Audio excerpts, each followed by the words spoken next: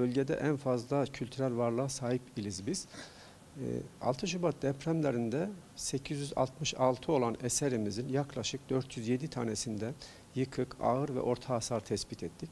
Bunların 50 tanesi ilk etapta hemen yıkıldı. 113 tanesi orta hasarlı kaydedildi. 244 tane eserimiz de ağır hasarlı kaydedildi. Biz bunları hemen depremden sonra e, Anıtlar ve Röleve Kurulumuz, oradaki e, bizim müzemiz ve e, Harran Üniversitesi'ndeki uzman arkadaşlarla arkeolojik kazı çalışmaları yaptık.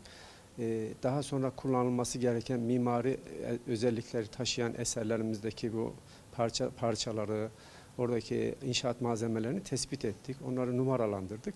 Daha sonraki bu şeylerde kullanılacak restorasyonlarda. Şu an itibariyle bizim ilimizde 21 tane eserimize e, proje desteği aldık. İki eserimize de uygulama desteği aldık. Bu destekler ve incelemeler devam ediyorlar. Bizim de çalışmalarımız devam ediyor. 58 tane eserimiz de vakıflara ait. Bunun büyük bölümü Vakıflar Genel Müdürlüğü'ne ait.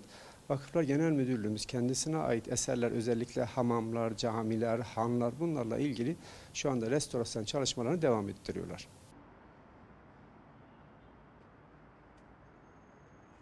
Ulu Cami biliyorsunuz restorasyon ihale edildi. Yaklaşık 3 yıllık bir inşaat süresi var, restorasyon süresi var. Şu anda devam ediyor. Bizim tahminimiz 2 yıl civarında bir sürede biteceğini tahmin ediyoruz inşallah.